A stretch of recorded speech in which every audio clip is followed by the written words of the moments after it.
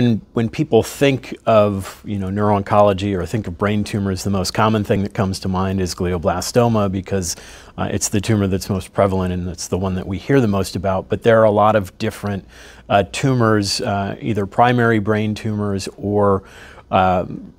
uh, secondary or, or, metastatic brain tumors that uh, people can be diagnosed with. Um,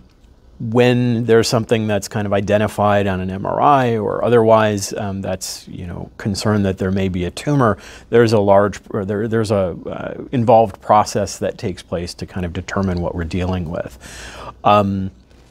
many times that means doing additional imaging to see if there are any other areas throughout the body uh, where that uh, abnormality may have come from um, that may be more accessible. Um, if we don't identify something like that, often we're on to uh, uh, performing a surgery or doing a biopsy in order to get a tissue diagnosis.